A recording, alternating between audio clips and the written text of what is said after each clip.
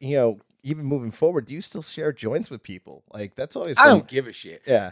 We were in Uh, we were in Colorado. This was our oh, fucking yeah.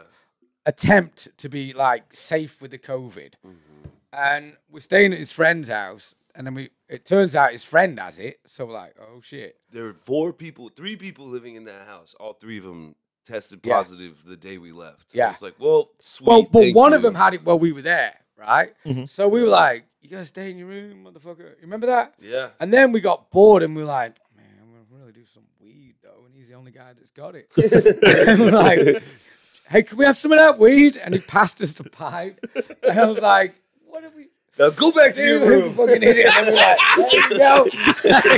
we'll be fine. We'll be fine." we just smoked from his pipe.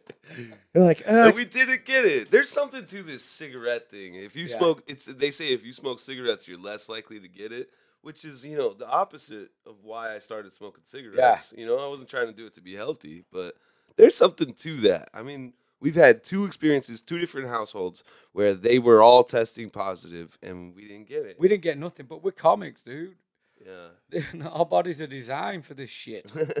you got that Yeah. iron immune system. Dude, system. we've done so many fucking parties and put so much shit in our bodies. COVID, the fuck out of. COVID, COVID got in there and was just like, where Oh, turn the around, fuck? turn around. Yeah. I went back out slow. I am the vaccine, bitch. It took its bat wings and flew right the fuck back out.